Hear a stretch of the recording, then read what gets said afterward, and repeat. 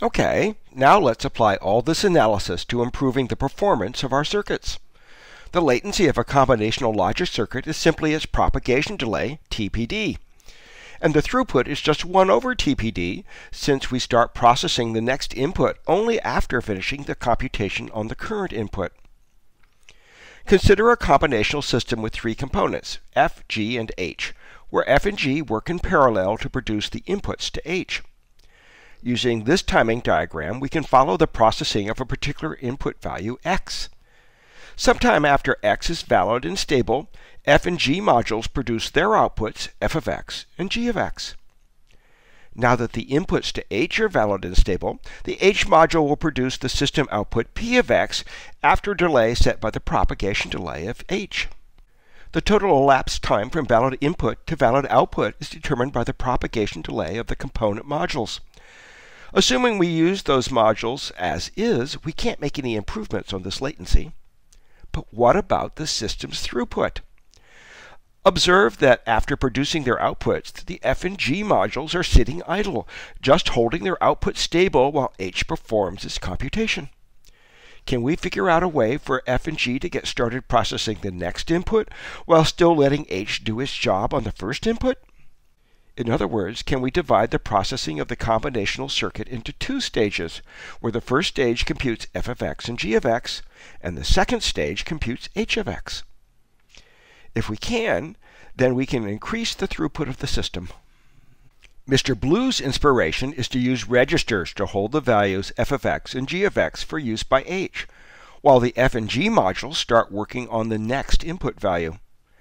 To make our timing analysis a little easier, we'll assume that our pipelining registers have zero propagation delay and setup time. The appropriate clock period for the sequential circuit is determined by the propagation delay of the slowest processing stage. In this example, the stage with F and G needs a clock period of at least 20 nanoseconds to work correctly and the stage with H needs a clock period of 25 nanoseconds to work correctly. So the second stage is the slowest and sets the system clock period at 25 nanoseconds. This will be our general plan for increasing the throughput of combinational logic. We'll use registers to divide the processing into a sequence of stages, where the registers capture the outputs from one processing stage and hold them as inputs for the next processing stage. A particular input will progress through the system at the rate of one stage per clock cycle. In this example, there are two stages in the processing pipeline, and the clock period is 25 nanoseconds. So the latency of the pipeline system is 50 nanoseconds. In other words, the number of stages times the system's clock period. The latency of the pipeline system is a little longer than the latency of the unpipelined system. However, the pipeline system produces one output every clock period, or 25 nanoseconds. The pipeline system has considerably better throughput at the cost of a small increase in latency. Pipeline diagrams help us visualize the operation of a pipeline system. The rows of the pipeline diagram represent the pipeline stages, and the columns are successive clock cycles. At the beginning of clock cycle i, the input x sub i becomes stable and valid. Then, during clock cycle i, the F and G modules process that input, and at the end of the cycle, the results, f of x sub i and g of x sub i, are captured by the pipeline registers between the first and second stages. Then, in cycle i plus 1, h uses the captured values to do its share of the processing of x sub i. And, meanwhile, the F and G modules are working on x sub i plus 1 you can see that the processing for a particular input value moves diagonally through the diagram one pipeline stage per clock cycle. At the end of cycle i plus 1, the output of h is captured by the final pipeline register and is available for use during cycle i plus 2. The total time elapsed between the arrival of an input and the availability of the output is two cycles. The processing continues cycle after cycle, producing a new output every clock cycle.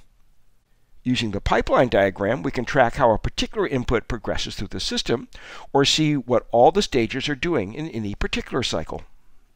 We'll define a k-stage pipeline, or k-pipeline for short, as an acyclic circuit having exactly k registers on every path from input to output. An unpipelined combinational circuit is thus a zero-stage pipeline. To make it easy to build larger pipeline systems out of pipeline components, we'll adopt the convention that every pipeline stage, and hence every K stage pipeline, has a register on its output. We'll use the techniques we learned for analyzing the timing of sequential circuits to ensure the clock signal common to all the pipeline registers has a period sufficient to ensure correct operation of each stage. So for every register to register and input to register path, we need to compute the sum of the propagation delay of the input register plus the propagation delay of the combinational logic plus the setup time of the output register.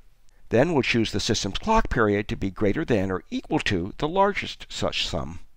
With the correct clock period and exactly k registers along each path from system input to system output, we are guaranteed that the K pipeline will compute the same outputs as the original unpipelined combinational circuit. The latency of a K pipeline is K times the period of the system's clock. And the throughput of a K pipeline is the frequency of the system's clock. In other words, 1 over the clock period.